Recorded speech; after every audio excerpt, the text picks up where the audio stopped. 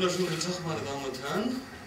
Äh, willkommen zur Pressekonferenz des Simon Wiesenthal Center und die Liste der schlimmsten antisemitischen, anti-israelischen Verunglimpfungen 2012 mit Rabbi Abraham Cooper und Dr. Matthias Künzel. Zum Ablauf der Pressekonferenz, der kürzere erste Teil äh, wird in Deutsch ablaufen, also mein Statement und das Statement von Herrn Künzel. Äh, und Rabbi Cooper wird dann das Wort auf Englisch an Sie richten. Äh, da die Pressekonferenz auf anderthalb Stunden konzipiert ist, äh, wird genügend Zeit für Fragen an die Referenten sein. Ich hoffe, wir können alle Ihre Fragen beantworten. Nur kurz zu meiner Organisation und unseren Beweggründen, Rabbi Cooper nach Deutschland zu einem Pressegespräch einzuladen. Ich bin Vorsitzender des Mid-East Freedom Forum Berlin oder kurz MFFB. Mein Name ist Michael Spanay.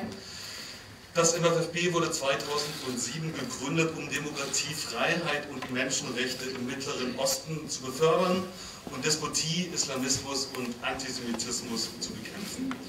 Das MFFB stellt Politikern und Journalisten Informationen über die politische und gesellschaftliche Situation im Nahen Osten zur Verfügung und organisiert Informationsveranstaltungen und Hintergrundgespräche für deutsche Abgeordnete und Regierungsmitarbeiter mit internationalen Experten über die Gefahren, zum Beispiel die Gefahren des iranischen Atomprogramms, äh, der Israels Sicherheitslage und den notwendigen Kampf gegen Islamismus. Wir glauben, dass in der deutschen Öffentlichkeit, einschließlich Universitäten und Medien, die Bedrohungen, die für den Westen und Israel vom radikalen politischen Islam ausgehen, insbesondere von einem nach Atomwaffen strebenden iranischen Regime, vielfach unterschätzt und nicht genügend debattiert werden. Es herrscht hier in Deutschland ein Mangel an adäquater Information über den Nahen Osten.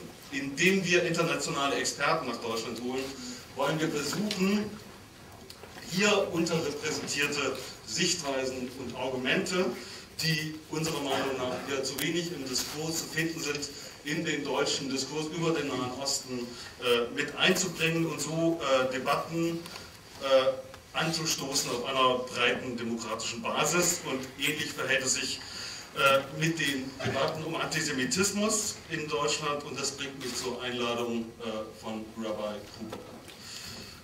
Die Statements von Jakob Augstein sind alarmierend und schockierend.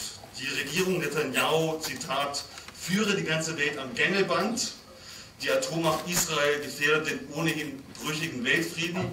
Das ist ein Ausspruch von Günter Grass, den Augstein zustimmend zitierte.